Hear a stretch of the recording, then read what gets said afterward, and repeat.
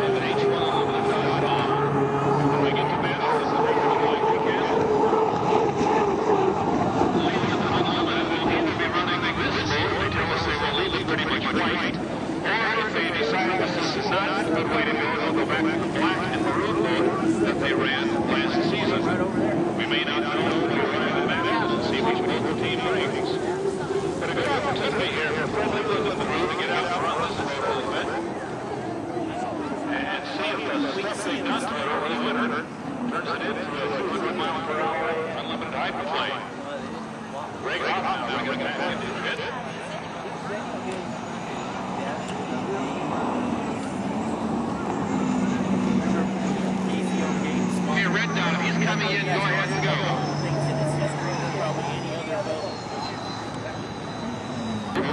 That one's up on the shot they want to try this. Primarily because they've been able to add